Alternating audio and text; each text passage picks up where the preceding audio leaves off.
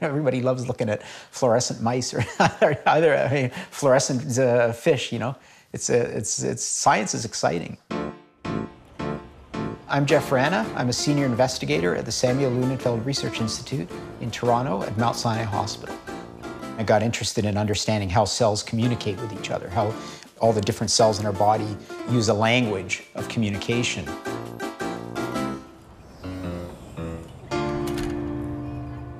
People would say is I'm an, I'm an experimentalist, and I like to do experiments. And I like to make the observations of experiments and puzzle about, you know, why didn't this turn out? How come I didn't get that result? How did we got this weird result? Looking always for that kind of odd result that can stimulate a new discovery. Now that I'm more of a senior investigator, I don't get to actually do experiments. And so I think I take that physical side of, of science and take it out in the kitchen where I can start to do experiments there, some unsuccessful and some very successful. I wasn't really sure what I wanted to finish university doing. Uh, and I took a third year biochemistry lab course, and I met a, um, a tutor there whose name was Elizabeth Harfiness. She invited me to spend a summer in her lab and it was like the first day that I was in her lab, and I said, that's exactly what I want to do. I just knew it right then and there. And so from that point on, I was, I was hooked. When I was a postdoc, we were trying to understand um, how these two proteins would work together to translate the language into the cell.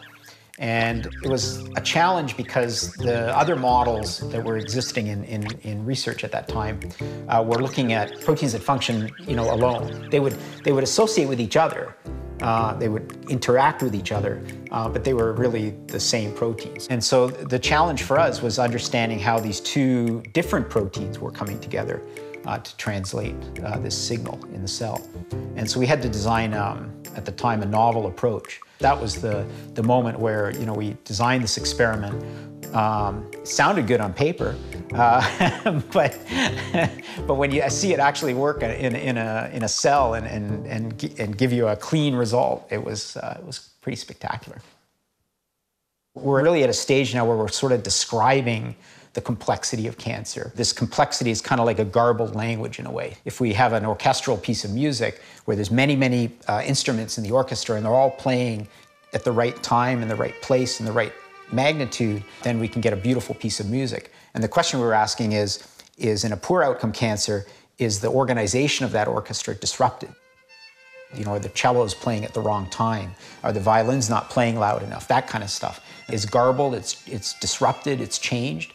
And, and for, for me, I think this is a critical thing to understand for cancer. This is what makes cancer very, very difficult for many cancers to treat because the cancer is adaptable and it can change. It's probably one of the most exciting times in my career. The flash of insight that leads to a new idea is a very exciting moment, but then the, the effort to prove it, it uh, can be very, very challenging. You have to be perseverant, you have to have flashes of insight, uh, and you have to work hard. So you have to do a lot of things in science. So passion's critical.